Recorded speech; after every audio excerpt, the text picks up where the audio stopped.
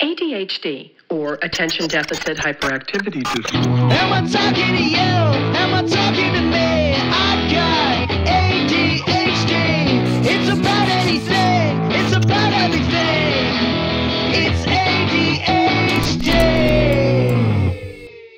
Welcome back to ADHD with me, Travis Mills. This week, a very, very special guest. I got my guy Cody Ko on the podcast. How's it going? I'm good, man. Thanks for having me, man. Yeah, of course. Thanks for coming. Yeah. Uh, we were talking a little bit before the mics cut on. One, you were like one of 20 people that have seen my Netflix show. Dude, that honestly one of my favorite shows It's so crazy. of all me. time.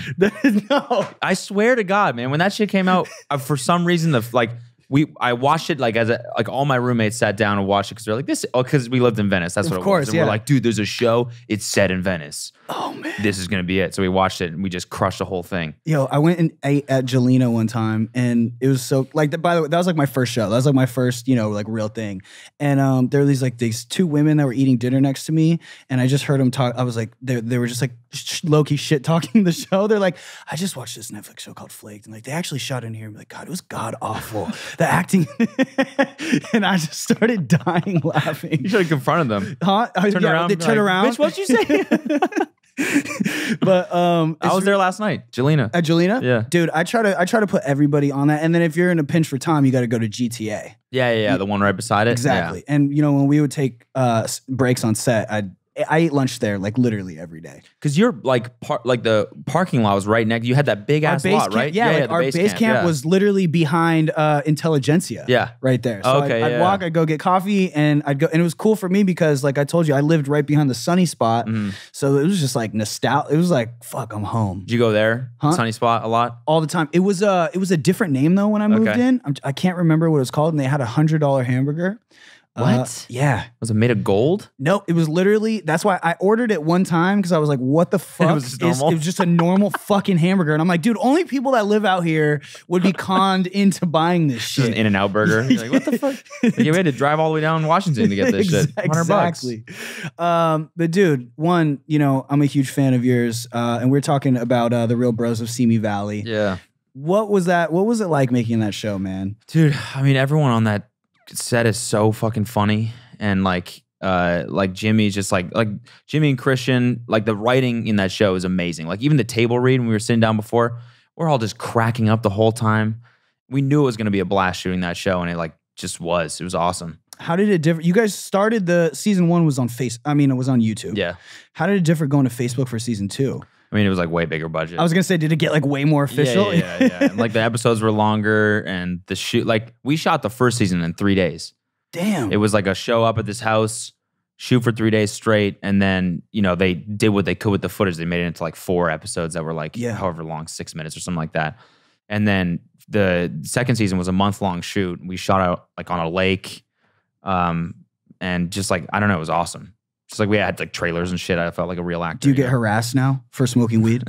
dude you know you know what's funny you know what's a funny thing i realize is that there's no funny answer to do you burn yeah, I, yeah, I burn, bro.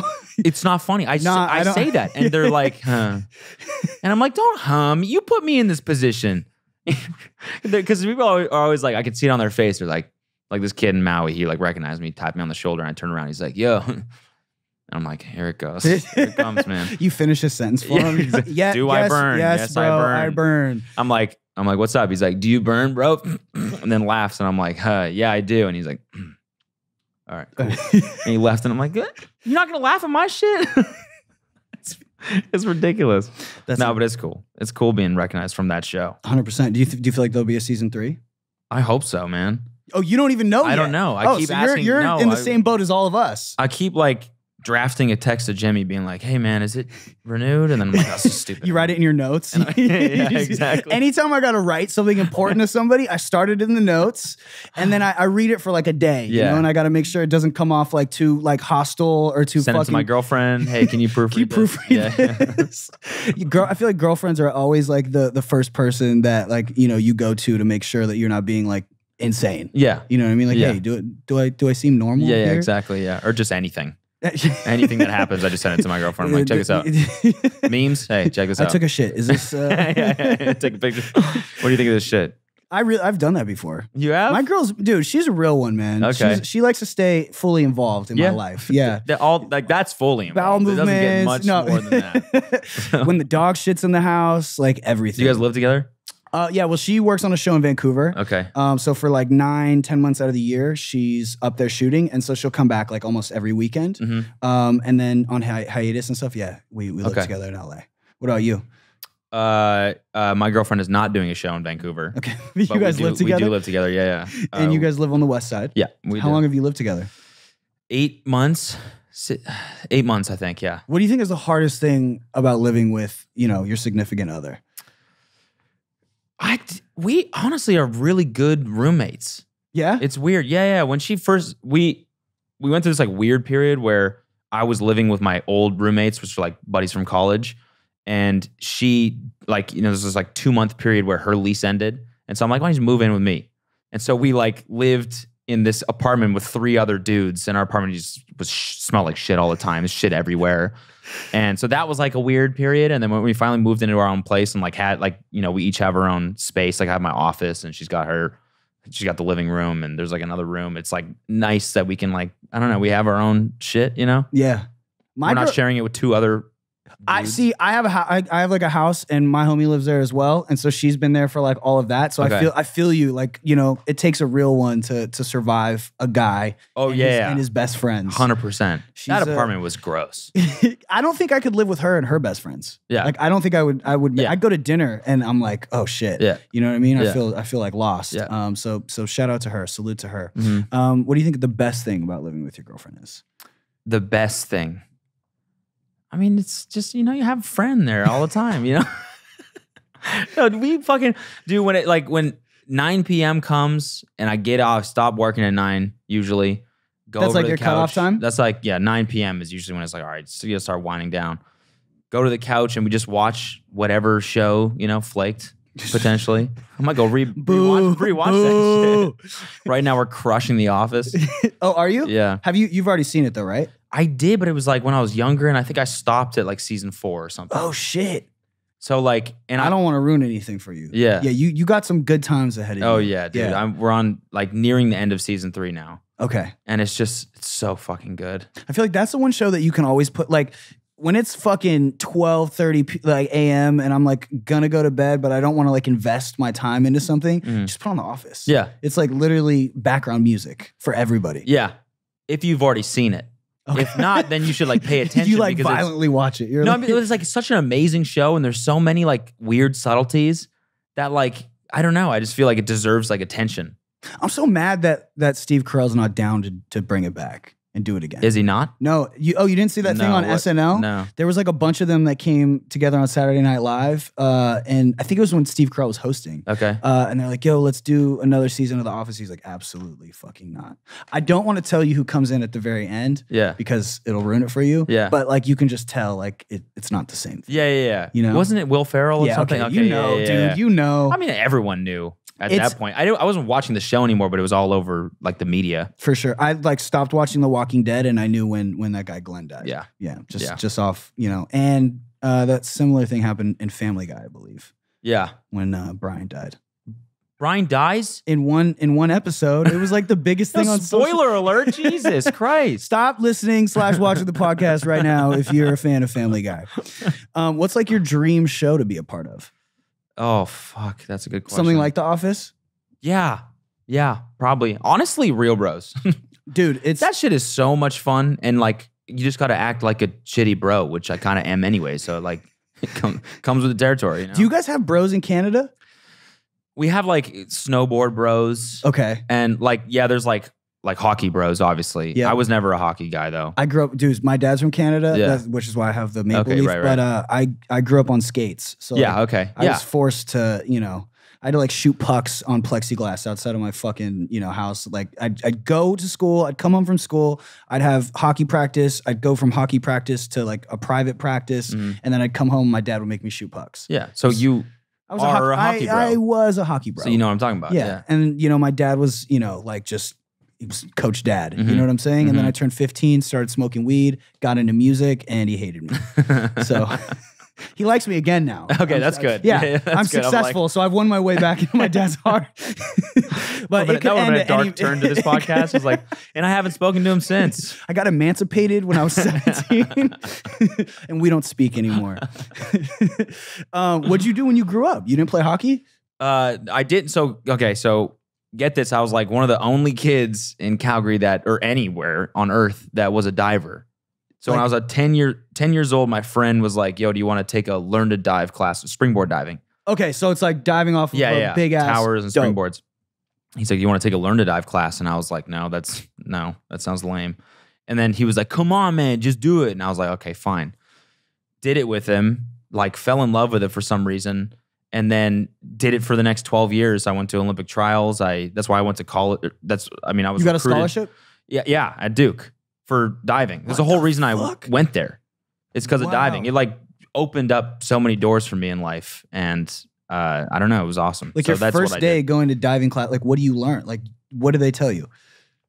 like they're like they're like I don't know. It's like trample. You do trampoline and shit, and you just like learn how to. It's a really like unnatural thing for a human being to land on their head because your body's like doing everything to protect your head. Yeah.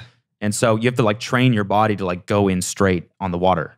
Otherwise, you just flop on your back, or you're like you have the tendency to arch and shit like that. You must have belly flopped like oh yeah, yeah, thousands of Yeah. times. I mean, that never stops, no matter how good you get. Really? Oh yeah, you slip out of slip out of your like tuck or your pike or whatever. Dude, I had this one girl on my team that at like nationals or something, she was on 10 meter, the high one, and was doing like a front three and a half, and she slipped out of her tuck and landed on her face. And she got out of the water and she her hairline was bleeding. She detached her retinas. oh. Yeah, yeah. She had two giant black eyes for like a month. It's gnarly, dude. You said a three and a half. Is that three flips? yeah, three Three flips f- into a dive. Fuck. Yeah, Damn. it's crazy. Oh, I don't even know. Yeah, dude. I like. What's the big? Do you know the biggest thing you've jumped off of? Uh, I think 20 meters is the biggest How many that I've is jumped that? off. I'm a dumb American. Uh, I don't know. You want to- like, ask Siri real quick. I don't have like a Jamie or something. Yeah, yeah. to fact We pull that up. Yeah. this is a low budget podcast, dude. She's like, "Fuck off! I'm not doing conversions for you right now." So when you go on like vacate, like I've only I, I've jumped off some rocks at like Havasu and shit that were like four, you know, forty feet, and I Yeah. thought I was like a total bass. When you go on vacation, are you oh, there we go. Yeah, 20 meters. 65 feet. sixty-five feet? Holy shit! Yeah, you, do have a Jamie. What yeah, I do. Her name's Hazel. She's Hazel. amazing. Yeah, Yeah. thank you, Hazel. Thank you, Hazel. Yeah. when you're on vacation, are you like looking for shit to hit? Like you're like, yeah, I could, I could. No, I mean, ever since like I like when I graduated college, I, that's when I retired, and it was like it was like I totally lost everything. So if you don't do that for if you don't like practice it, you just lose air awareness and you just become like normal. You know? Do you ever watch those videos on like World Star or YouTube, just like the diving fails? Like No, but- people just like run on those fucking Yeah, yeah, yeah, just, yeah. like shit, I've seen dude. those. I couldn't imagine. That's just like yeah, something that I would not feel comfortable doing. And I think it's what you said. It's like going head first into like a body of water just Yeah. seems so unsafe. Yeah. Dude, some of my friends still do like high dive. Like once a year, this dude I know from Calgary that used to dive on my team, he's now like has like a normal job and is married and whatever. And and once a year for the Stampede in Calgary, he'll get up on it's like 60 feet and he'll do a gainer off of it into like a tiny pool. Ugh. Just to I just for I don't know. Did you see that fool? Uh, fuck, I can't remember his YouTube name, but I was obsessed with his videos where he would sneak into hotels and private property. Like he'd like climb like your backyard Oh. Laguna Beach, and he would jump like two, I don't know, fucking hundred feet and like clear like crazy amounts and like barely make it into the water. okay. Did you never seen that? I don't think so. Oh, dude, and this guy, he got on the news. I followed him for like a year because everyone's like, "This guy's gonna die. This guy's gonna die." And um, Would he climb shit too? bro he would get on yeah he'd like break into hotels and he'd get on like the like the, the highest roof and he would jump into their swimming pool and like clear like 50 feet of concrete Oh my god. and like barely make it in well he was doing a dive uh, at the beach and he climbed someone's backyard in like laguna beach and it was all rocks and he thought it was way deeper and so when he dives and oh he would wear a gopro strapped on his fucking head and so you hear him like when he's going in and he doesn't realize that there's rocks underneath he's like oop and just fucking hits and broke like I don't know, he broke like 30 bones in his body. And it was on the news because they finally got him and they were trying to like charge him with like breaking and entering. As And, he's like- in a full body he's cast? like- yeah. He's like, relax. Let me heal up a little bit.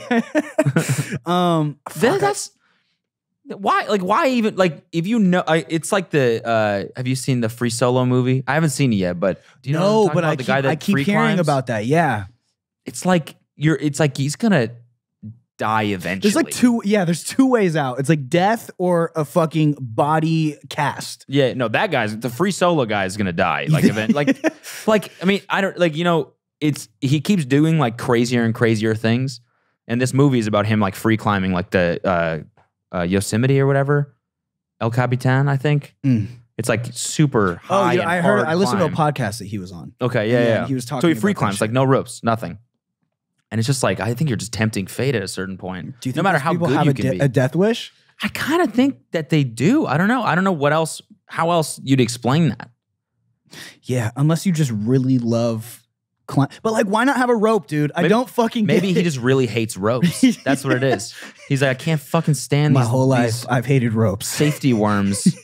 can't do it. He has like a whole camp of vendetta against ropes. Yeah, he wants to do everything. Like, yeah, yeah. He's like, he's like, if there was another way that I could be safe up here, I would do it in a second. I just hate ropes. my thing is too. Like, why not bring a fucking parachute when you do that shit, just in case?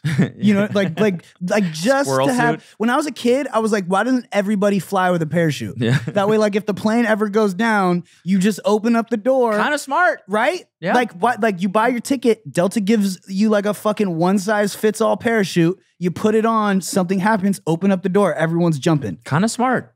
Kind of smart. I'm not opposed to that. Yeah. Or jetpacks. that would be dope too. I don't think we're there yet. Damn. Would you ride? Would you fly a fucking jetpack? Like if it came down to it and I needed to for for my life, yeah, I'd fly. I want to do the ones in the water. Yeah. You know that have the fucking That shit's the so hose, funny. but those feel limiting as well. Because like once you're out of water, like where the fuck do you go? I, I have no idea. Uh, that that to me, like when I think of that, I just think of all the videos I've seen of people going up and then just face planting. just everything so- going on. And it seems like so safe. You're like, yeah, I'm over fucking water. Yeah. And just no. Has anyone ever flown one of those things successfully? I think every single person who uses it goes up and then just I've watched a guy like give a demo to like some tourists and shit and be like, yeah, this is fucking amazing. Like I just got it and just just fucking It was on the news, wasn't it? Yeah. Wasn't it that news? And she's like interviewing him from the dock. He just fucking eats it. That's like the the news lady um when she went to the grape uh she went to like the Yeah. wine Yeah, yeah, yeah. convention. That's so old, dude. That's like the first meme. That literally I no, that's why I'm like I'm dating myself right now because I'm like, damn, I'm fucking old. Yeah, yeah, yeah. I'm fucking ancient. Yeah. What do you remember like when meme culture like became a huge thing for you? For me, Yeah, just like when like when you got into memes. Uh, I'm not, I don't know, man. I, I've never really been that into memes. My ex girlfriend's mom used to call them memes. And yeah, so I- I- memes if, if you're French. memes. Me- memes. You've never been a meme guy? Not really. I mean, I don't know. I was never the like whenever a Vine went super super viral, I was always like the anti. I'm, I'm never gonna watch that for just for just out Ah. of spite. I don't know why. You know, like I'm not gonna watch this shit that everyone's talking about. What happens when your vines like would go viral? Would you like fuck fuck this Yeah, shit? just fuck delete them. Would never watch them again. no, that that I liked because I was like, that's me. That's Yeah. funny. But like, I would just, I don't know, I would avoid all the trending shit until like five months after it died, and then I would watch it and be like, that's fucking amazing. Like the peanut butter baby. Mm. When I watched that, I was like, this is the this is the best thing I've ever watched in my entire life. And by that point, nobody was talking about it anymore. People, it was old news. Mm. You couldn't joke about it anymore because people were like, yeah, I mean, have you seen every remix of the peanut butter yeah. baby? That's how I am with shows. I'm watching like The Sopranos right now and Game of Thrones, Mm. and I've never seen either one before, Okay. and people freak out. Like, What? Yeah. You haven't seen G- Game of Thrones? know. And I avoided it for so fucking long because of how popular it was. Yeah. And I didn't want to be like that guy talking about dragons and shit.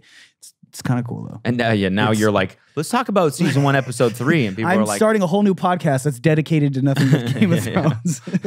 people are like, dude, I was 12 when that episode came out. I'm not talking about that shit right now. Memes always scared me though, because I never wanted to be one.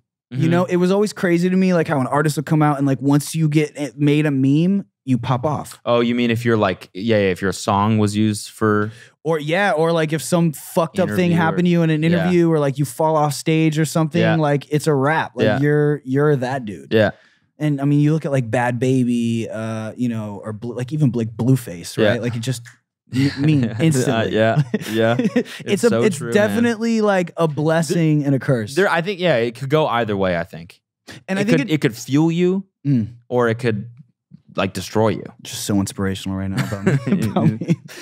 It's ad time. Today's episode of the podcast is brought to you by Hims. 66% of men lose their hair by age 35. The thing is, when you start to notice hair loss, it's already too late. It's easier to keep the hair you have than to replace the hair you've lost.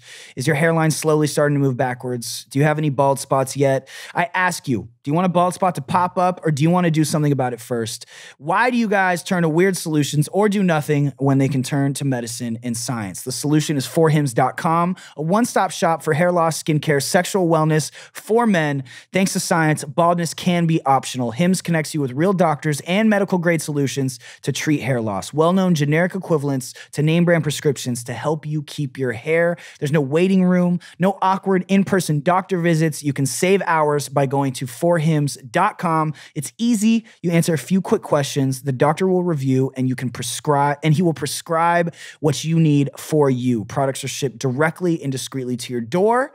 You can order now. My listeners get a trial month of Hims for just $5 today, right now, while supplies last. See the website for details. This would cost hundreds if you went to a doctor or a pharmacy. Go to forhims.com slash ADHD. That's F-O-R-H-I-M-S dot com slash ADHD, forhims.com slash ADHD.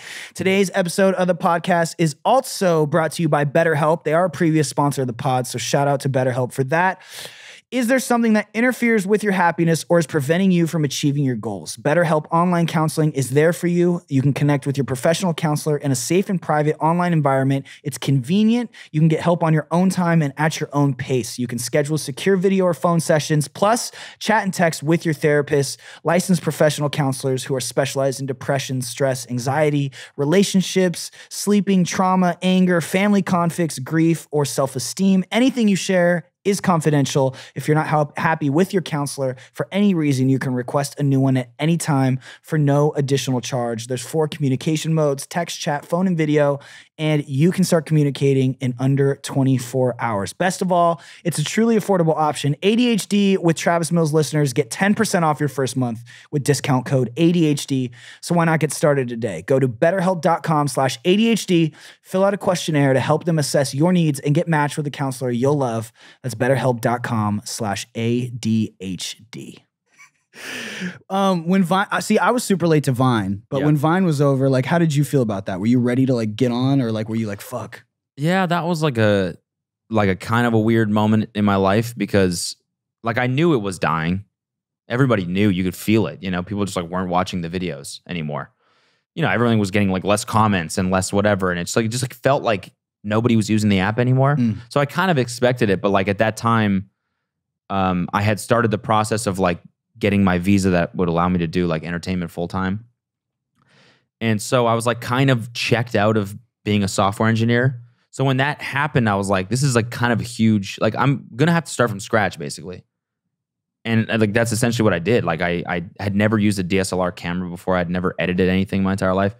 So like just conquering that learning curve and all while being like, I have to do this because I now I have this new visa. I can't be a software engineer anymore, even if I wanted to. Damn. I could go back to Canada and do it, but like I gave up my software engineering visa and was like, this is what I want to do. So, you know, that was like a kind of a scary time. yeah, Just the like- first day that like you turn on your your new camera, like, are you like, what the fuck? I'm like, what the fuck am I going to even do? Like, I have no idea. Like, sketches, like, what, where do you even start? And it's just about just doing shit over and over again, figuring it out. Do you remember the first thing you did?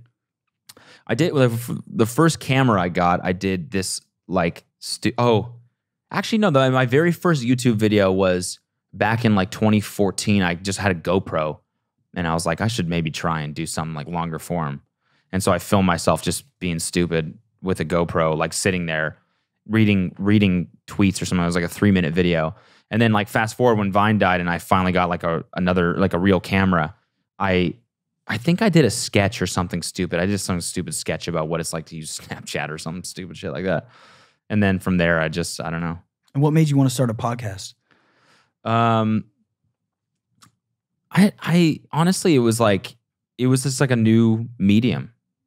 I wanted something like less edited, more like a, the when I when I first got into it, it was a podcast that I started by myself, and I was just like, it would be cool to have some outlet where it just like I could just speak freely, and if people want to listen, they can listen. If not, then whatever. But at least like I'm just getting my thoughts. I actually read a, a tweet that was like that was like dudes in LA or something like that, and then like the arrow, you know, the meme was like the arrow, and then it like traces around yeah. something to a destination. It was like going to therapy, and it's like navigates around it, and it's like starting a podcast.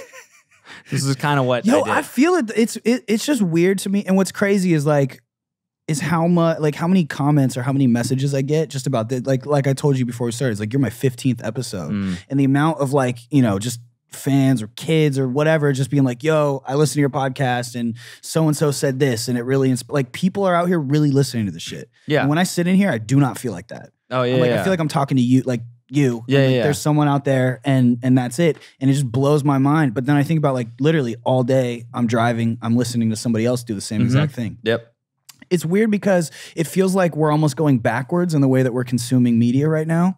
Because I mean, like radio when it first started, like families gathered around to fucking just listen to some dude talk like out of a box. Mhm. And now like kids are going on some app to listen to people talk Yeah, that's pretty funny. with no production yeah. or like no mute. You know what I mean? Yeah. It's fucking weird. that's and that's what I wanted to try. I guess I was just like, what what it, will people listen? Like, will this actually help? Just like being able to spew my thoughts out and not have to like edit it every space out, you know, like you do with videos, and I have to think about like the concept of the video and all this shit.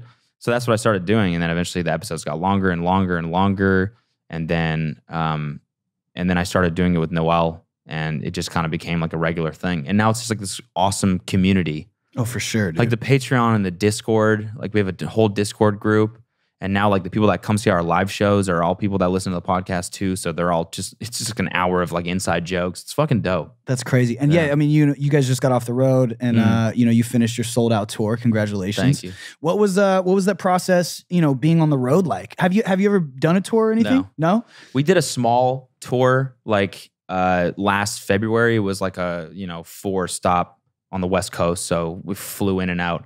Did two shows a night, so it was eight shows total in four days, and it was like our first taste of what it was like to do that sort of thing. And then I remember we were like, we were after our first shows in Phoenix, we were out back after the show, and we were like, God, it'd be so sick to tour like on a tour bus one day. And we were like, yeah, but that's you know that's years away. Like it's it's you know we're not even close to that yet. What would we even do? Like blah blah blah. And we're like, yeah, but it's a cool like pipe dream. And then fast forward when the tickets went on sale for this tour in like December or whatever, and it sold out like immediately. And we upgraded the venues and those sold out. And we were like, this is fucking actually Some real happening. rock this is shit, insane. dude. It was just like, it was surreal. It was like, I can't, I, I remember this conversation like it was yesterday that we thought this would never happen.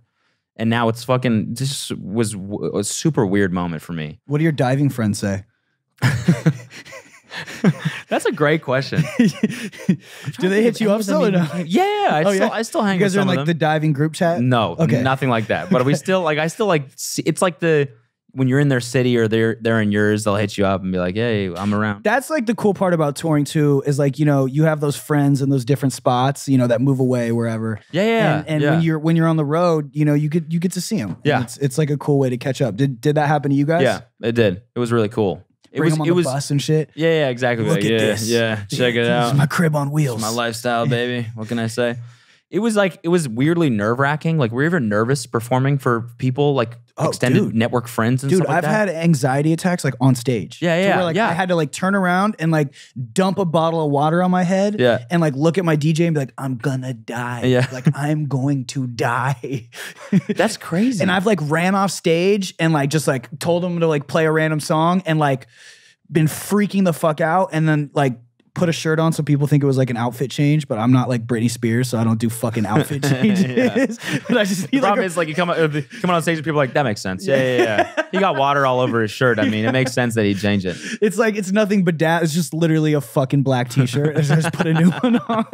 But yeah, dude, I used to. And what's crazy is like you know when I started touring, fuck this is like nine once again aging my, this is like nine years ago i feel like anxiety and all of that shit like it wasn't as talked about and it definitely wasn't like as glorified as it is now Mm. like i feel like now like you know if if you don't have like face tattoos and like weird color hair and like you're not rapping about like depression and Yeah. anxiety like you're, you're not on soundcloud Yeah, yeah. Now anxiety is just like a chorus. it's it literally is. It literally sells tickets. Yeah. And I didn't tell anybody back then. Like I'd go in and it will it it would always happen at like the worst. Like I'd go into like a meeting with like a record label and I'd be fine. But I'd like look at someone and be like, yo, right now would be the worst time to have a panic attack, Travis. And that's when And you're like, oh fuck, it starts building. And you're like, oh no, no, no, no. yeah. Like my first time in a studio with real producers, he had to call 911. Really? Yes, bro. I was like, I'm literally gonna die. And I obviously I didn't die. Yeah. Uh, and so I just felt like a fucking idiot. Like walking back in after like I calmed down, everyone was was creeped out. You know, they were like, "What the fuck is wrong with this kid?" I had my first one six months ago, I think. So it was about six months ago. Oh, really? And yeah, my first like real one where I had to go to the hospital. I like legit Okay. thought I was dying. Yeah. I never, I never ever had anxiety before that. Me neither. And mine was uh, I was I was like 18 or 19, and it was New Year's. And bro, I hate I hated raves and like all that shit. My friends were like, "Yo, man, we're going to this super chill club in LA," and I was like, "Okay, cool." And uh, I got there and it was a fucking rave, and uh, I freaked out. And like, That's when it happened. yeah. And so I went to the fucking medical tent because I thought I was dying. I never felt, dude, never had anxiety in high school or anything like that. Never even knew what it was. Um, and I thought I was having a heart attack. And so the they put me in an ambulance. And then the EMT that was in the ambulance like put my heart rate thing up. She's like, "Holy shit, your heart's over like 190 over." da, da, da. And I was just kept looking at her. I was like, "Am I gonna die? Am I gonna die?" She's like, probably. she was not she was not sure um but then yeah I went to the hospital and they thought i was on drugs and so they drug tested me and i was obviously clean and um they were like yeah you just you had a panic attack i was like fuck It's all gotta be the worst place to have a panic attack. at a rave yeah. when everyone's just like, all right, what the fuck did you take? Like, I- you're on ketamine or what's, what's going on? And and you know, I tried to tell my friends, and they're rolling balls, and like Mm. they're like shirt off, and like eyes are like three times the Yeah. size. They're sweating. you're like, I'm gonna die. They're like, me too. Let's die together. together as one. It just yeah, it was awful. Yours was was it on tour or where? No, no, it wasn't. It was just like I, I was fuck completely random. I woke up on a Sunday and was like a little bit hungover and had to take an Uber out to Six Flags to do this like brand deal thing. And on the way, I just I just started feeling awful, and I was like, something's fucking wrong. I can't breathe. I can't. I can't like no matter what I did, I couldn't get comfortable, and it just kept getting worse and worse and uh, worse. And I was like, the only explanation for this is that I'm dying, and Yeah. it just was like the worst feeling, just down. And my heart was racing. I started sweating, and I was like, I'm dying. I think I'm dying. We have to go to the hospital because I'm I'm dying. You told your Uber driver? I told my girlfriend who was sitting there, and she was like, she told the Uber driver, she's like, can you just Change the route. Change the route. Yeah. Fuck. And so you get there. I get there and I'm just like I'm like out of it. I'm loopy and I'm I'm I'm just talking to the person. I'm like I have no idea how to explain this. I think I'm dying. And she's like, all right, sit there there and we'll get you in eventually. It's like the worst thing. Just- Yeah. All right, just chill. yeah, because I mean they know like they've seen that probably a million times. They're probably like, it's like he's having a panic attack. So they they took me in. They did an EKG and shit like that. Because what's kind of scary is that there really isn't any like like a heart attack and a panic attack are basically the exact same. They feel yeah, they feel the same. So they have to do that shit. They have to do the EKG and stuff. Everything came back normal. So he's like, I think you just had a pretty bad panic attack. And then I went and saw my doctor because after that happened, I didn't feel normal for like two months. Damn. It was just like constant, this like, just almost like depression. But again, like I've never had that in my entire life before. So I didn't know how it felt. I just felt like shit all the time. And I was like, is this what this is? Like, I don't know. And I was, kept having like almost panic attacks again, where I'd, you know, then I'd do the grounding shit that I learned and like kind of fight it off.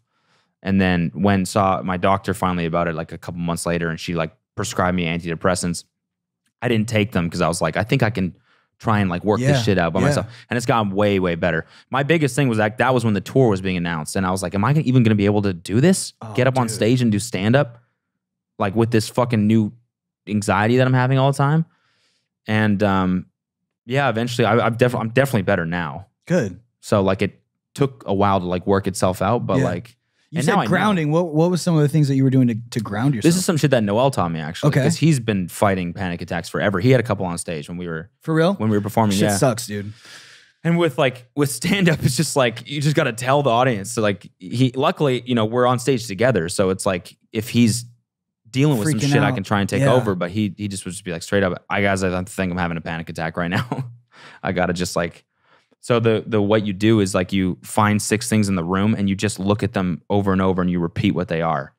Oh, so and it helps you like keep in your body, right? Because like Oh, when when the panic shit happens, you sort of like dissociate a little bit. Hundred percent. Yeah, like I totally felt like out of body, like I wasn't even there. But if you're like focusing on shit that's in the room and you keep repeating it, it just like brings your focus to like the physical plane. And so Damn, that's a helps you really feel good it. idea. Yeah, yeah, no, it totally works. That's insane. I'll have them at the most random times now. Like I've honest, I've what's crazy is that like my quote unquote near death experiences have alleviated a lot of my anxiety because I'm like, if I didn't die from that, Okay. I'm not gonna die from this. like what? What near death? Uh, I fell through a roof. I fell through a skylight in downtown LA, like Okay. probably 15 to 18 feet into an abandoned building, doing a photo shoot.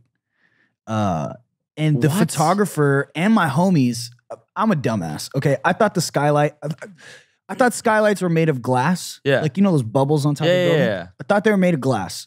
They're not. They're made of plastic. Plastic, okay. yeah. Did you step on it? Dude, we were on the roof uh, of this huge, you know, 20 story building in downtown LA. And um and fucking we're doing a photo shoot and I'm like, okay, cool, da da da da, moving around. And I see a skylight. So I put one foot on it and uh I'm like, cool, I'm just gonna stand on this thing. And so I go to put my other foot on it, and that shit just caved in.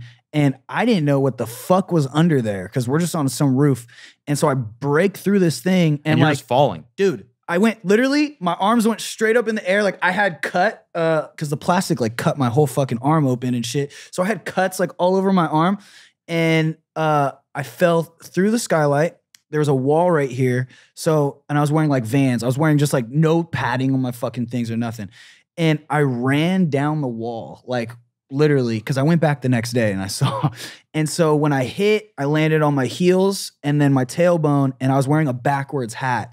And my head went back to hit the concrete, but the bill of the hat like kind of bounced my head back, and I was just in this pitch black room. I didn't know where the fuck I was. For a second, I thought I died, and uh, my friends thought I fell twenty stories. The photographer thought I fell twenty stories. He like he was tripping. He thought he watched me die, and um and so I'm like.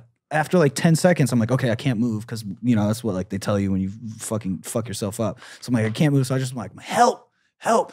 And then they all come over to the skylight and like they're all looking down. But then I realized like they can't jump down and get me, Yeah. you know? And so I had to fucking get up and I open up this door and it's an apartment building. So I start banging on these these people on just doors.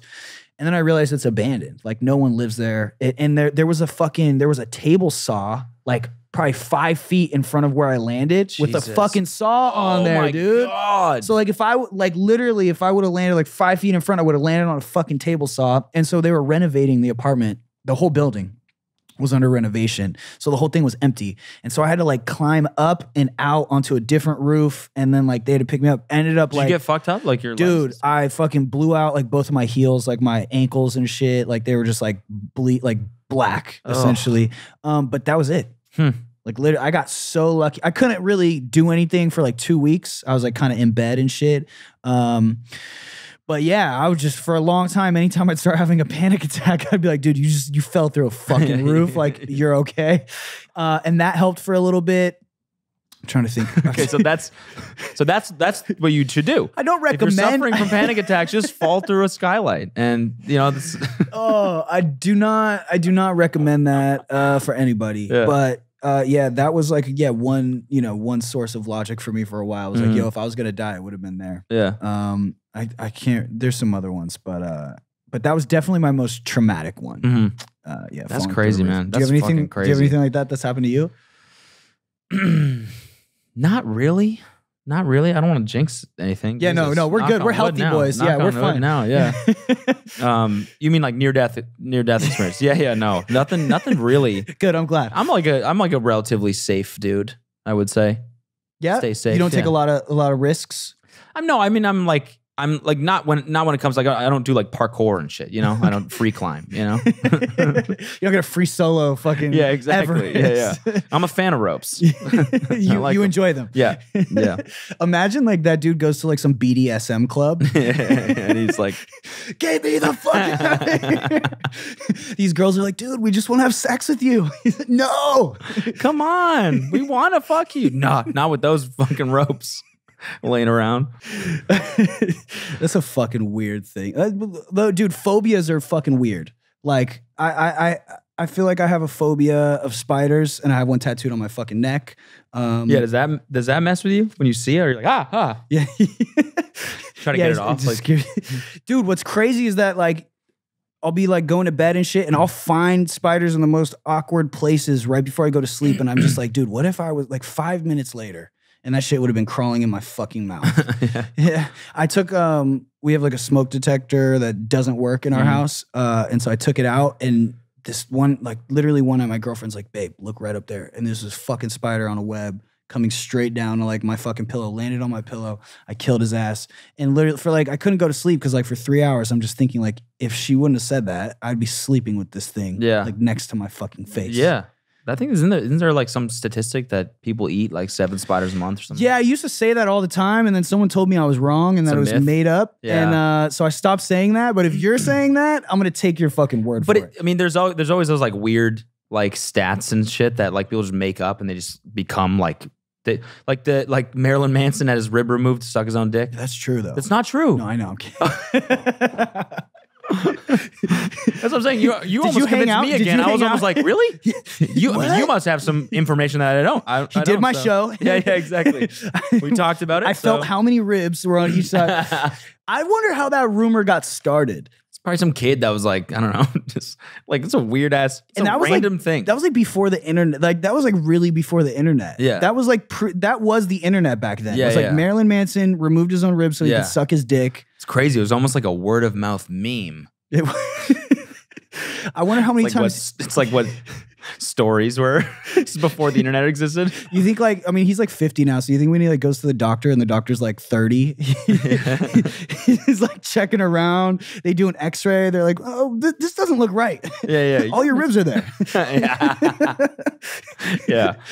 I wonder how many Did you times. have them put back in? Are they fake? oh, dude, I've known some girls that have hooked up with Marilyn Manson. Really? Yeah. And Yeah. Um, how how is he in the in the sack?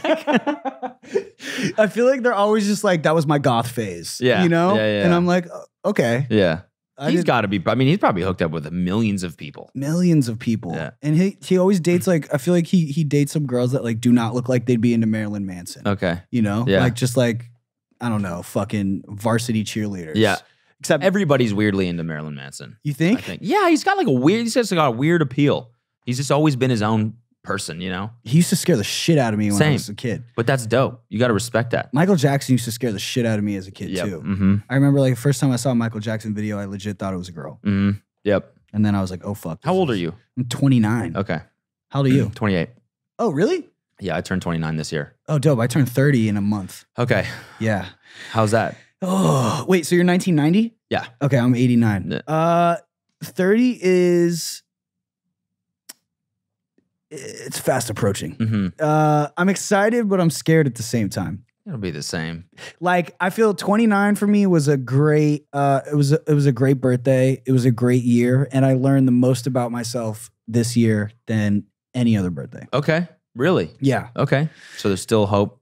what, in the are you hopeless? Are you? I'm like, I think I've learned uh, just the maximum stuff about myself, you know? there's nothing else There's to learn no about improvement from here. me. Yeah, there's no improvement. There's Oh. no, yeah, it's just all downhill, you know? Oh, dude, I hope not, man. I feel like, yeah, I feel like I'm just getting, I'm just smarter now. And there's just Mm-hmm. like, e- you know, there's just shit that I just won't do anymore that I, like when I was 23 or 24, even fucking 26, Mhm. I'd probably still do. Mm-hmm. Um, I stopped smoking cigarettes when I was like 27. Okay. Uh, and that was a huge thing for me. And now, like, I, I don't even remember who I was Mhm. like back then. Mhm. You know, like I can't even relate to that Travis. Um, Are you still making music? yeah, Okay. uh, I just I haven't been releasing any. Uh, I released some in like 2017, but uh, one thing that I started doing last year a lot was focusing on production for and writing for other artists. Okay. It's like executive producing. Oh, cool. Uh, and then I just produced this kid YK Osiris. Uh, we have a song out called "Worth It" right now, Okay. which is dope. This kid Paris, who I like executive produced his whole Oh, I love that dude. Really? Yeah. Yeah. I love that project. Oh, I wrote and recorded all of it. Did you really? I executive produced it. Oh, super dope. One night in Paris. Yeah. I named it, Really? dude. No one under. Yo, we're in the studio. Do you know? You know one one night in Yeah. Paris is a sex tape. Yeah. Oh. He- the Paris Hilton sex tape. oh yes. Dude. Okay. Okay. Okay. Yo. What am I thinking of? The Owen Wilson movie? No, but One Night in Paris is what we called the EP. Okay. Uh, and like no one understood the reference. okay. So I'm like one and they're yes, genius. Oh my god, how'd you come up with that? I'm like, dude, dude. What's What's the movie that I'm thinking about? Is it? It's called One Are Night. you in, midnight uh Midnight in Paris? No, midnight train uh Midnight in Paris. Midnight in. Paris. Yeah. Yeah, Yeah. yeah, okay. okay. One. Night in Paris was the Paris Hilton sex tape. and Paris's EP that came or album that came out. okay. Okay. You just stole the title of her, for her album. I mean, one's porn, one's music. It's kind of the same yeah. thing. Um, No, I love that dude's sound. oh, that's awesome. Yeah, yeah, we're working he's on the second album right now. That's sick. Yeah, um, and I got Travis Barker's on there, Trippie's on there. Really? Yeah, Dope. that was cool for me uh, because I'd worked with Travis Barker in the past, but like it was tight because we were all in the studio, we made the song, so I bounced the song, texted it to Travis, and was like, "Yo, I'm working with this kid. You got to fuck with him." And he sent back his fucking his drum solo like in 12 hours. Really? Yeah, He seems like he's just a beast. Like he wants to just work with upcoming people. That's the and thing. like he's He- always like he's working. He did that shit with Lil Aaron. for sure. Yeah, And like his ears like always to the street, Yeah. and like so he's on, you know, he's on like he's on whatever's coming up. that's pretty cool. which is dope. And I feel like he's always been that way. Like he was really the first like pop punk dude to start working with rappers. hmm You know, he's Yeah. like the first one to make drumming like fucking cool. Yeah. and, like you know, going toward Lil Wayne Mhm. and fucking do songs with the game. So, and you know, he's from Corona. I'm from Riverside. So growing up, he was. I mean, he was always a god to me, dude. Mhm. You know. And what's crazy is um, his best friend, Lil Chris, who passed away in the cra- in, in the plane crash. He used to detail my dad's cars. What? Really? So he had Are a you deep- from here? I'm from River, yeah, Riverside, Okay. California. Okay. Okay. So uh, little Chris had a, a car detailing business. Hmm. And so randomly, this dude's like washing my car. And my dad's like, Travis, come outside. And sh- my dad's like, you love Blink 182 and all this shit, right? And I'm like, yeah. He's like, yo, this is this is Chris. And so me and Chris became cool. And he handed me like, dude, like 150 famous stars and strap stickers the first day I met him. He's like, here you go, bro. And then he took me to the famous store. And then he took me to Wahoo's when Travis opened up the Wahoo's tacos. Okay. And I got to meet Mark and Travis. No way. And I have the fucking, I still have the skateboard deck that Travis and Mark signed when I was like 13. that's crazy. and I brought it like fast forward like 10 years, you know, when I started hanging out with Travis as like an adult. yeah. I brought the fucking skateboard and he's probably like, you're fucking weirdo. But uh, he was like, dude, that's fucking crazy. Uh, you know, it's dope. a trip. Um, but yeah, dude, I, and I got to go see uh, the last five shows with Tom. No which was- way. yeah. So they were playing at the Wiltern. Uh, it was a crazy story. It was right when I became friends with Wiz, and Wiz was like my favorite rapper, Mm. right? Like, period. And he's like, "What are you doing tonight?" I was like, "I'm gonna go to the Blink show." And he's like, "Yo, let's let's roll." So I rolled there with him, and so you know we're standing on like stage and shit, and I had this moment of like, I like looked like Wiz past me a joint, and I hit the joint, and I like look over and I'm like, "Fuck, this is like my favorite rapper in the whole world." I'm on stage with Blink 182. Like, Like- this is a peak. Like my 19 year old self is fucking like what, and then my 13 year old self is like what. Like my dreams of music, you know, started and ended with Blink 182. Yeah. Like I memorized the live album. Yeah. Like I could do everything. That and then was so Wiz funny. was like my icon for you know hip hop and and just like just fucking being an overall badass. Mhm. So it was like my culmination of my whole life. Like, and I went all five nights, bro. Really? I, did, not give And was it dope every single didn't night? give back the pass. You know, I, I kept the all access yeah. pass and just went all five nights. And they played a different song as their encore every night. That's sick. Um, and so, yeah, dude. Except the last night, someone fell off the fucking balcony at the Wiltern. Uh, so- Really? yeah, and he might have died. This dude like might have died. So it was like all weird and shit. Like at the end, um, but it was fucking crazy. Like this dude like jumped off like the top and like, Why? Just I don't know. because you loved the show that much? I don't know. I feel bad because I don't know if he if he passed away or not. But yeah, it was fucking. It was like the probably the craziest five nights of my life. Jesus Christ, that's crazy. What'd you grow up Did? Wiz To? come every single night? No, just Okay, once. okay. No, Okay. no. You know he had shit. To You're like, come on, man. we gotta go see this shit again. I heard they play a different song for their encore every, every night. he would have been like, "Nah, bro, I'm good." He's like, "One, one, one is all I need." Um, were you a huge Blink fan growing up? Yeah, I was huge Blink fan. I was always into pop punk, Sum 41, like fucking. I was always in like ska too, like Less Than Jake and like dude. weird shit. uh, like so I I worked with this dude John Feldmann, who's the singer of Goldfinger. Okay, Uh, and I remember like you know I used to listen to them all the fucking time when I was growing up. Uh, Reel Big Fish. yeah, yeah, Do reel big that? fish. Yep. Yo, ska got a lot of hate back then though. I know it was weird. It's because Right? of like skanking and it was like just like a weird culture. But I just legitimately love the music. I Mm. thought like bringing horns into rock was like the or horns into like punk was like the dopest shit ever. Yeah. My I used to listen to like like some rockabilly stuff and like weird shit like that. oh, uh, I used to listen to this band called Tiger. Uh, fuck, it was a rockabilly band. They're called Okay. Tiger Army. okay, yeah, yeah, yeah. I don't think so.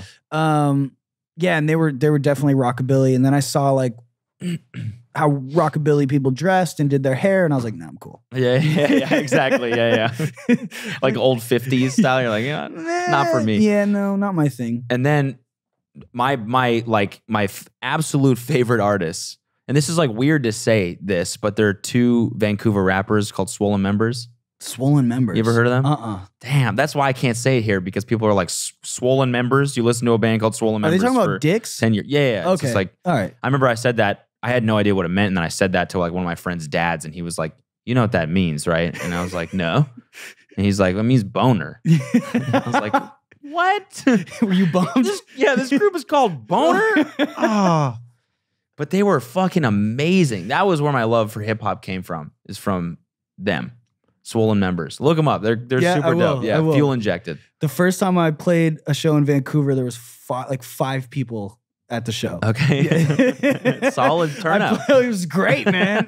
My best market. Uh, it was this place called Fortune Sound Club. Okay. Uh, and yeah, there was like, I mean, two of them were like the bartenders. Mhm. Uh, awful, awful. But I, you know, there was weed there, and I was like, okay, cool, And Vancouver's dope. insane. And you know, it got better throughout the years. But uh, I'll never forget that first show. It was That was your first show ever. That was your first in, in Vancouver. Vancouver. Okay, and I was all stoked. I was like, fuck yeah, I'm going to the motherland. My dad's gonna be so proud.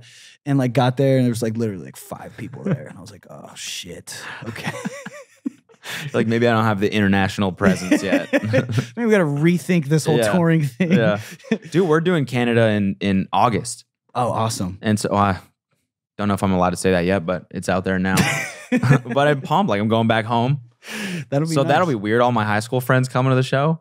That'll be fucking super weird. Is that yeah? Do they like do they trip out? I mean, like because you know you're over here, you're obviously like doing your fucking thing and an entertainment thing. I don't know if Canada has a huge entertainment scene over there. I know they shoot a lot of shit there, but I don't know if like you know there's like a big industry and shit. Or do, does this like lifestyle and like you know your occupation does it trip them out? It's definitely like it's definitely. I mean, even even going to college, like when I moved to North Carolina and then would come home for Christmas and stuff, people would be like, "Oh, what's up, frat boy? Oh really? What's up? You wearing pastel now, you frat boy?" And like, so you just get roasted for anything that's not like Canadian. They call you know? Hollywood now. Yeah, exactly. Yeah, now exactly. Oh, what's up, big man on Instagram? Oh, Instagram famous. I'm like, I'm doing, you know, I'm doing more than just Instagram. I'm like, you can look into the other shit that I'm doing. Doesn't that? s- I feel like people, yeah, people like look at you. You know, they everyone thinks that like the success just happens so fast, and they don't see like yeah, the five person show in Vancouver. Right? They don't see, you know what Exactly. I mean? yeah. Like they don't see the like all, hours and hours. you quitting your and fucking code exactly. Yeah, yeah, yeah, exactly. Yeah. Does that shit ever get to you? I mean, a little bit, but I've kind of just stopped. I know what I'm doing. I know what I'm trying to do. You know, it's it's weird. Like, I feel like most people get it though. Mm. Like now, because I've just I've put myself out there and I've done so many things that it's like now I think people are. I, I mean, uh, I don't know. I would hope that they see that and are like, all right, cool. He's doing his thing. Do you He's respond to not any just a fucking negative Instagram comments? page. Like like in real life or online. No, online. No, I, I, feel like you'd be like I would never want to like comment something because I feel like you would roast the fuck out of me. I feel like you could just roast somebody super fast. It's weird, man. I feel like the more time I've spent on the internet and the more time I've done content and all this shit, I'm getting more sensitive.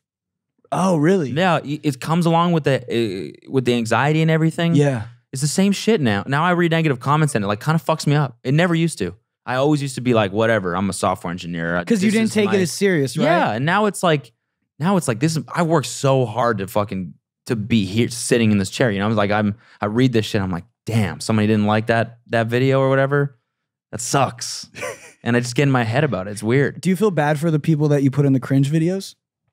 No, now when you're like you're like you know when you're like just firing off on them and then like do you sit back like I mean, I like That to think we do those in like a playful you do way. you do the only ones where we're like a little bit mean is like the girl defined ones and and stuff like that. I feel like we go like pretty hard on them because like they're just insane and they like the I think stuff that they're saying to young girls and stuff is like that's bad. So that's why we go super hard on those girls. But it's like everyone that we've done that's cringe on besides them has reached out to us after and been like, dude, that was so funny. Like you guys are totally right. Blah blah blah. And we're friends with all of them. Maddie smokes. We're like friends with him. I play Fortnite with him like all the time. dude I saw that one and I was like what the fuck Yeah. like you shine a light on some of the strangest people in the fucking world like the fact that somebody would make I don't even want to call it a career but a career off of smoking Ab- absurd. Smoking a Juul. Something that doesn't even d- do anything. It's like a four second head rush, and then But he's like the, he's like the, the literally embodiment of Blake Vapes. Yeah. You- you- like Yeah, he yeah, is like yeah. the human embodiment of that. Um, it's weird now. He's like a celebrity amongst our fans. Like at the shows, man. Like I would say his name, and sixteen hundred people would cheer uh, as louder than they would for us. Opening just by saying Maddie Smokes. opening act. That's what I was. That's what I was saying. he comes out with the fucking Juul. Dude, think about this, man. Like ten minutes before the show starts, the fucking music dies The and the dim. lights dim, and he comes on stage with a Juul and a stool. Sets it down and he's a just like, Juul in a stool. He's just like, I'm Matty Smokes, and this is a fatty ghost. And he just like does a crazy French inhale, and That's what I mean. Like, like where do you nuts, go? Where do you? bras thrown up on stage? I love you, Maddie Smoke. Sign my Juul. He's like, yo, my Juul collab's dropping next Yeah, month. yeah, yeah, Signed and numbered. Maddie Smokes, Off White Juul. Virgil's like, let's go. but it's crazy because I mean, dude, the kids that are watching his videos have to be what, like 14? I have no So idea. I have no idea what his demographic, is. Demographic is. No idea who watches vape videos. I don't know. Why? Yeah. What? Why? What? What are you watching those for? Cause like I like when when weed videos were a thing, and like like I used to like browse like weed sites and stuff sometimes when I was like in high school and shit. Cause weed is like a very pretty thing, you know. Yeah. And if you like smoking weed, I didn't really uh, like smoking it. would you be on like hightimes.com or some shit? yeah, and like and like there's like websites that took pictures of different strains and stuff. Okay. So you learn about like strains and whatever. And you know when you're like a teenager and you're like, I'm not a fan of weed at all, but I was like trying to be, you know, because you're like, it's cool. Everyone's smoking it. Like everyone likes it. Why don't I like it? I'm gonna make myself like it. so like with weed, I get that there's a culture, right? Because you watch someone smoke it, like there's videos on YouTube of people like smoking huge bongs and stuff. Yep. Because you're like, you watch that and you almost get like, I, oh man, I want to feel like that feeling, you know? But what do you get by watching someone smoke a Juul? Vape. Yeah. cancer. get fucking cancer. Yeah, exactly. There's that's what I mean. There's Secondhand literally no cancer. positives No, from yeah. from Juuling. yeah. Weed, at least you get, you know, you get high. There's healing benefits. You can make Mhm. CBD out of it, Mhm. hemp and all that shit. You Mhm. make clothes out Yeah. of weed. Juuls. I, I mean, I felt so much better when I quit Juuling. Oh, you used to Juul? Mm-hmm. It was like something that just snuck up, you know? It's like, it's like the fucking, they're so strong that it's just like you do a couple times and then you're like constantly thinking about it. The thing that pissed me off, my homie Davis, uh, dude, wouldn't even like come over to my house. Like, wouldn't even hang out on my couch if like, you know, I'd go outside and smoke a cigarette because he'd be like, it's coming through the window. duh, duh, duh, duh, Like, I gotta go. Wouldn't ride in my car because like if I smoke cigarettes in my car, And now he Juuls all the time time. full fucking Juuls all the fucking yeah, time. I'm like, dude, you are the biggest like asshole about cigarettes, and you're blowing this fucking shit in my face. Yeah. Like, what's going on? He's Yeah. like, yeah, I don't know, man. I just, you know, it's just- different. It's mango. yeah. yeah. Didn't when I was uh, a teenager though, there was these things called vanilla dreams, Okay. and they were like vanilla cigarettes. uh, and then they they got banned because you weren't allowed to sell shit with flavors in them. Okay. But they were like literal cigarettes that came in like a shiny gold package. yeah, yeah, yeah. And uh, like and cloves. cloves were weird because those were like wrapped in the brown or black Yeah. And they they always scared me because they crackled and shit. I loved. I loved them. Oh really? Yeah, in college, Oh no, that But they always were, like, scared me. Uh, they're so fucking bad for you. I bet. Yeah, they have to be worse than regular cigarettes. it's right? like yeah, oh, way worse. It's like it's like a it's like a smoking like a extra strong menthol. Ugh. Because you know how menthol has shit in it that numbs your throat Okay. or whatever. Like that's the mintiness Yeah, of it yeah, or yeah, whatever. yeah. That that's clove cigarettes have that times like five. So apparently they're super super bad for you. Yeah, As hearing soon as I the, found that, I was like, all right, never. hearing the snap crackle pop thing in those, I was just like, it can't be good for you. I'm good. Yeah, I'm fucking What good. kind of chemical is burning right now that's making sounds? Literally, like, yeah, I don't even know. That was a huge thing though. Everyone smoked cloves. Yeah. Like growing up, it was fucking. I started smoking when I was 13 because I found a pack of unopened Marlboro Reds uh, Okay. at this creek by my house, and me and my friends smoked the whole pack in one day. Holy shit. we got really sick. Jesus and then the next day, we're like, we need another one. Hey man, if you're gonna do something for the first time, just go all in. That's, that's what I always say, you know? Smoked for like you know 15 years after that. It's like, all right, man, if we're gonna smoke one of these, you know we gotta do the whole pack. it's for life, dog. It's Yeah, fucking yeah. for life. And then for 10 years after that, Uh, that was definitely like probably the best thing I've done uh, in all my life. quit smoking. Quit smoking. Yeah. Did you feel did you how long did it take you to feel feel better? Uh, I uh, I actually I tried this thing called Chantix for a long time, which is like the pills. Uh, you take like prescription and shit. That made me feel crazy. I hated that. Uh, what ended up happening, what worked for me is I read this book called The Easy Way to Stop Smoking. It's by this dude, Allen Carr. He's dead now, but this guy smoked like four packs of cigarettes a day. He wrote it in like the 30s or 40s or I don't know, 50s or some shit. Um, but he had smoked for like 50 years and then finally like quit. And the book, uh, the technique in, that's used in the book is called neurolinguistic programming, NLP. And so it's like repeating subtle phrases and sentences that attack your subconscious. Okay. And like, so what it, it doesn't like scare you and like try to be like, you're gonna die and all this shit. Like it'll tell you like light up a cigarette, you know, and like do the, do all these things. Um, but it's pretty much like unbrainwashing us from, you know, growing up thinking smoking's cool. Have like you have you used those techniques like in just life besides NLP, Yeah. how do you think I got you on this podcast? dude? I was you wondering really why you do- emailed me you- 500 times. You really want to do this? You really, really want to do this? Yeah. Dude, Um, yeah, what you didn't see before we started this is you, him hypnotizing me. With My a fucking- pocket watch is, is for me, dude. Okay. um, no, I haven't. I'm not like that much of an asshole where like I would spend, you know, that guy obviously spent some time writing the book. Uh, I don't know how I would incorporate it in my daily life. Well, because like you know, like you find yourself like there's other vices in life, and it's if it's if it's not nicotine, whatever. I always find myself like fighting cravings for you know whatever food, going out to drink when I shouldn't be, Yeah. right? And like it's the same type of messages that your subconscious is giving you. It's like, nah, maybe you should do this. And I always feel like I could like, you know, I quit one thing, I start doing another thing, and it's like, how do I retrain my shit to like just not need anything? Anything. Like, let me just be at peace. The meditation, maybe. I don't know what it what it's gonna be, but that's why I asked that question. No, I feel you. Um, there's books on it. I, I have this book called NLP for Dummies, Mhm. uh, and I've I've read that. I just don't know how to like. A lot of magicians uh, use it though. Okay. Like, it's it's huge and like in the magic field, um, it's pretty it's pretty fucking crazy. But yeah, anyways, I read that book uh, and I had to read it like three or four times. But dude, my thing was always when I'd get drunk after not smoking for Yeah. like eight months. Oh yeah. And someone be like, yo, you want a cigarette? And I'd be like, yeah. Um, and then after like two or three years of just like torturing myself, I was just like, all right, fuck this. Um, but it would be cool to learn NLP and use it on my podcast. So you you use it against other people? You can. Oh, It can be I weaponized. It can- Ah, but- weaponized NLP. We- weapon, buy merch, buy merch, Yeah, subscribe. Uh, but the weird thing would be like, I feel like you'd have to have access to somebody a lot in yeah, order to, in order to like, you know, manipulate them. yeah. It'd be like the um, fucking. I don't mean to you know pull out the old Office reference, but I'm going through the season right now, and like one Live of the your life, man. Speak your truth. one of the episodes was he like trains Dwight to like w- request a mint every time the bell plays on the computer. You know what I'm talking yes, about? yes. It's like that type of shit. It definitely is. Uh, Slowly conditioning someone. yeah, it's just like mental conditioning. Um, but yeah, that works for me. I've get, I've sent that book because I have like a PDF to I don't know twenty people, and it's worked for a lot of them. So that's that was fucking cool. I know people got hypno like they get hypnotized and shit to quit stuff too, Yeah. which is something that uh, Rob Dyrdek always talked about. That was like the pinnacle of his of his success came after he saw a hypnotist. Really? Yeah, he went and got hypnotized and then like had all of these ideas.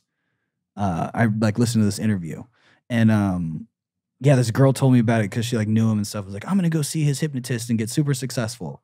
I was like, good it- luck, good luck. it- I don't, I don't know. Must not have gone and like, or, just, or just work hard. I don't know. Work really fucking hard and stay But busy. yeah. Uh, but hypnotism kind of freaks me out.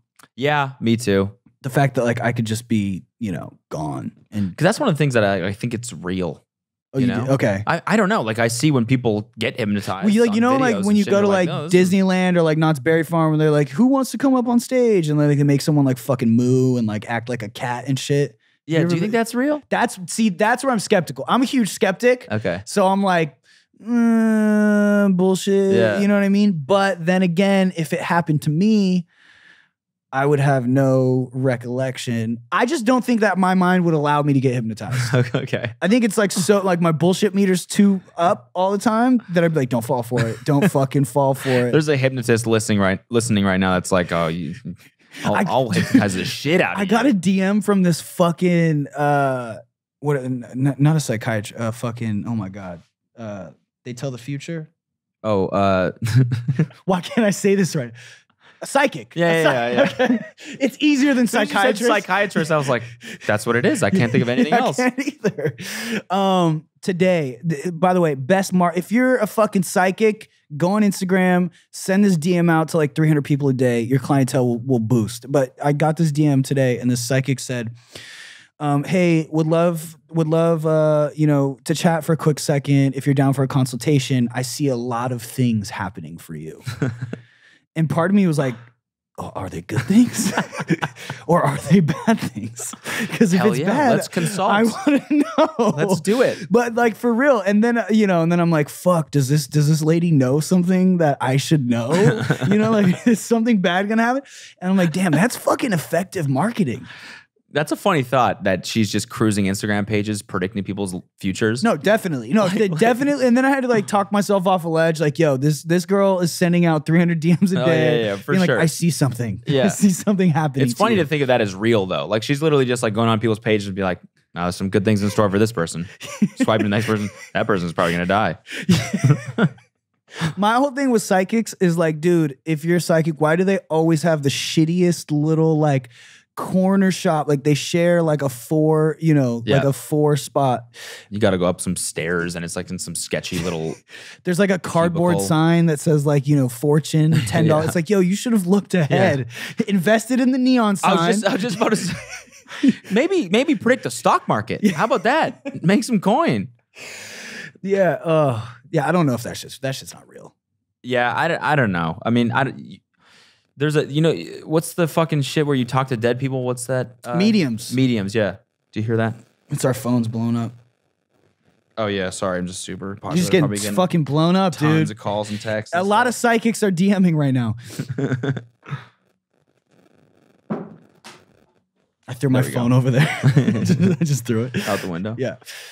Um, Uh, You believe in mediums? No, I I don't. But like, it's it's easy to like make people believe in that shit.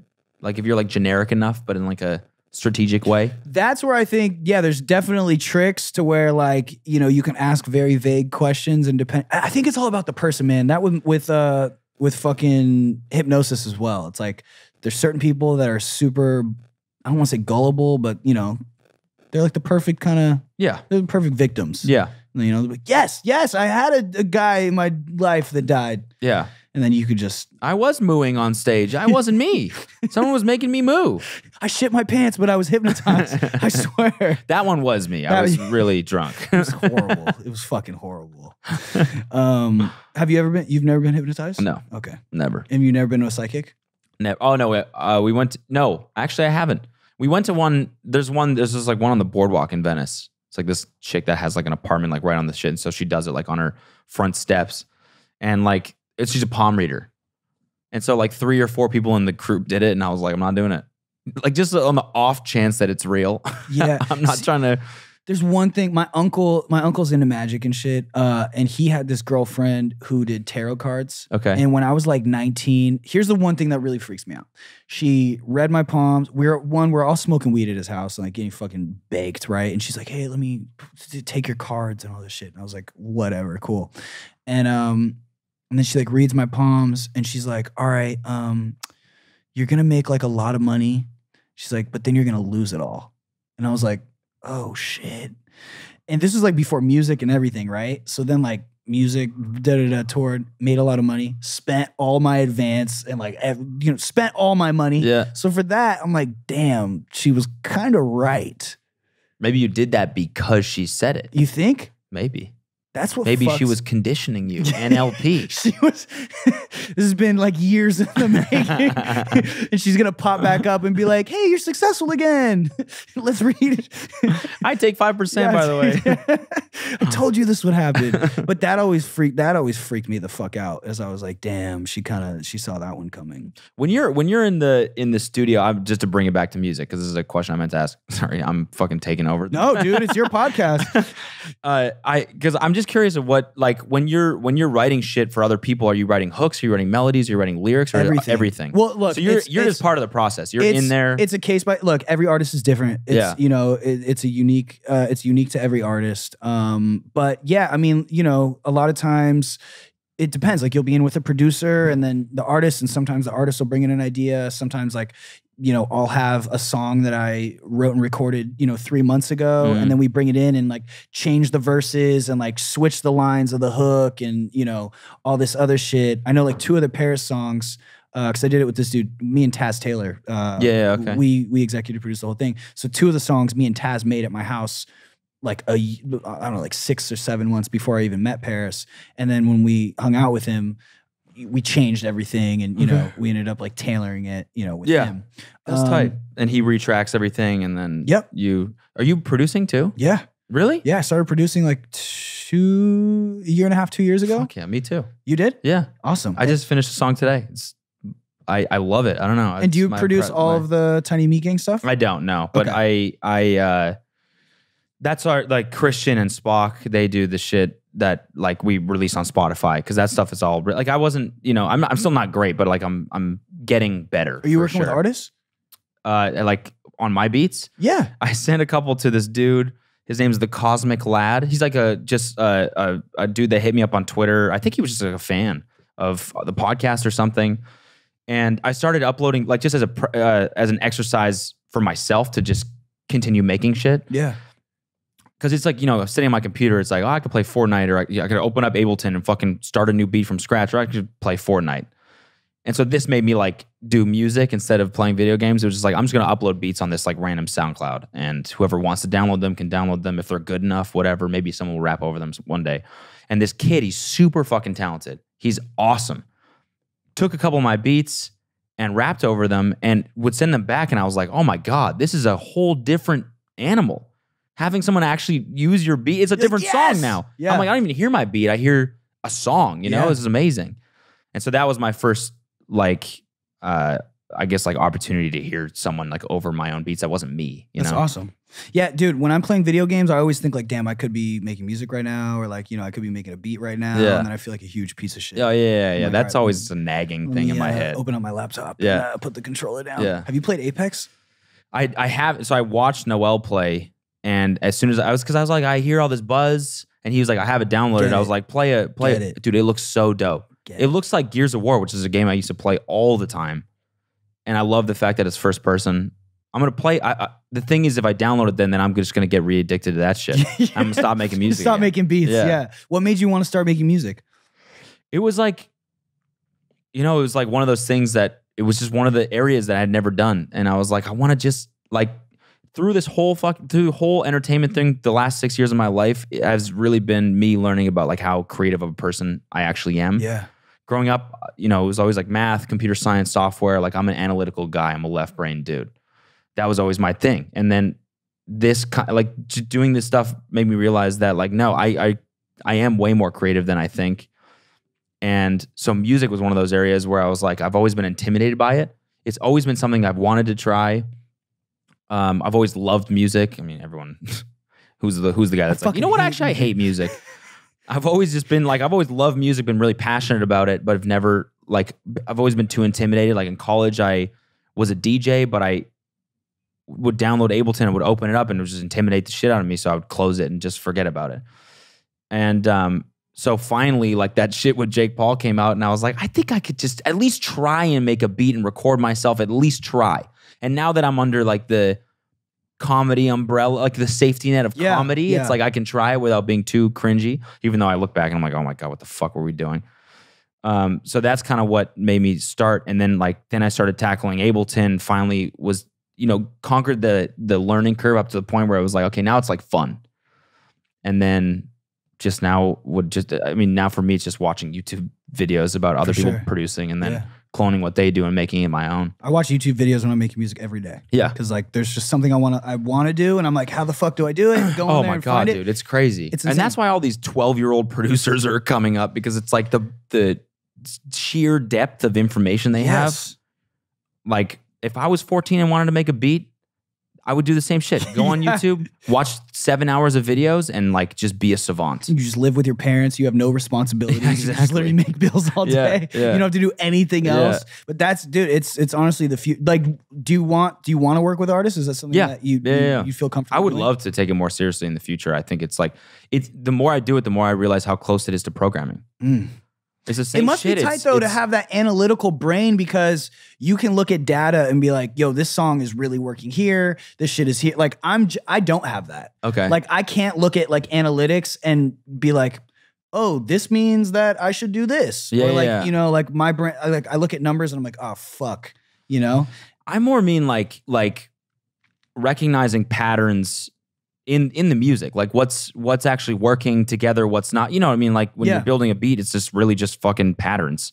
And it's the same thing with programming. It's taking chunks, reusing them, making them more like extensible for other areas of the program. It's the exact same with music. It's Mm. like, And you said you're on Ableton. yeah, Dope. I'm on FL. I'm on Fruity Loops and I'm on Logic. okay, Um, but FL was like the first thing that really. It, it's what simplified producing for me. yeah, It was like it's where like I could look at it like a video game. yeah, You know. yeah, yeah. Um, I think that's why most people start with FL, Studio. Yeah. because you just have that nice little. I started on GarageBand, dude. Oh, Like, yeah, yeah. That's okay, like how I yeah. first, and you know, like Logic is just GarageBand on crack. yeah, That's it. Yeah. Um, but yeah, man, producing uh, opened up so many new doors for me, and like it definitely reignited my love uh, of making music. okay, You know, because like I used to go into the studio and I'd work with producers and I'd be like, "Yo, that sounds really dope," da da da da. But I never trusted myself enough to be like, I can pick up this guitar and I can play this, and it it's good enough to be released. yeah, You know, my thing was always like, oh, okay, if I do this, then we'll just get a real guitar player in here and Yeah. then they can do it. yeah, yeah. And so when I kind of was like, hey, this is this is dope. And then like other people started being like, yo, this is fucking cool. That's when it was like, you oh, kind of you kind of find like that's the beauty of of doing shit yourself is that like like I love working with other people. Like when we're in the studio with our producers and stuff like that it's it's so much fun but it's a totally different experience than when I'm in my studio alone Yeah. building something from scratch. It's like a whole different beast. I'm my own worst enemy though. So like oh, sometimes I need someone there that I trust okay to be like, yo, is this complete trash? Yeah. Or and like, no, no, it's dope. Look, put this under here. And it's and then I'm like, oh fuck. I also overcomplicate things way too much. okay where like I'll feel like a song or you know whatever. This is in all areas of my life, but like specifically producing, like where I think it needs 20 tracks, and it could be done in like seven. yeah you know. hmm And I'm like, oh shit, I just didn't think of it like Mhm.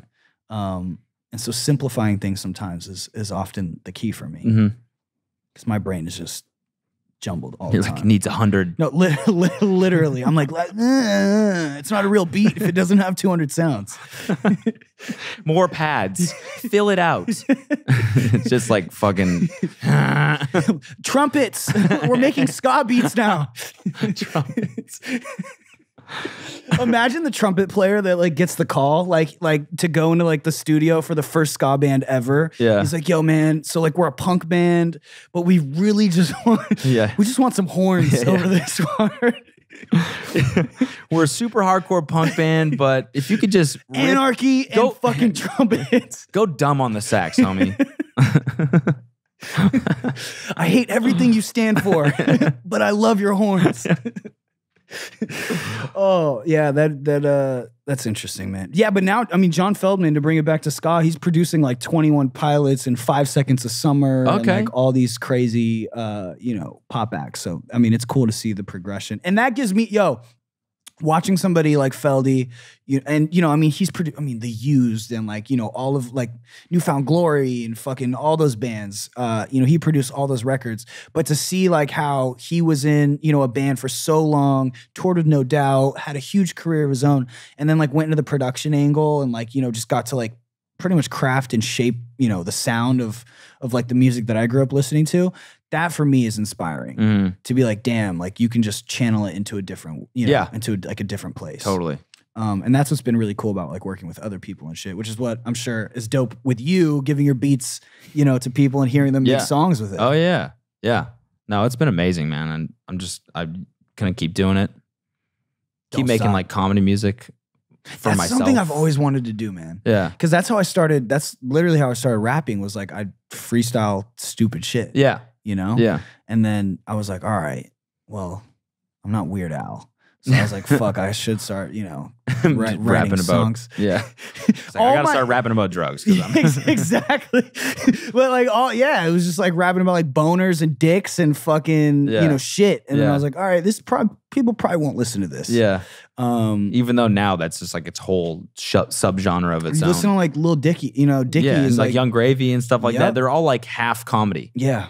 That's awesome though. Like that's kind of where we're trying to be too. Is not like not like purely like comedy, but it's listenable. You Mm. know, some shit that you can like vibe out to, but it's also like, oh, if you listen to the lyrics, it's actually kind of funny. Yeah. 100%. Yeah, that's something that uh I've always wanted to do. And so anyone that can do it well, I have a lot of respect for, Yeah, you know? Yeah. Um, me dude, too. I feel not like, us. Yeah. so me too. like fuck us, dude.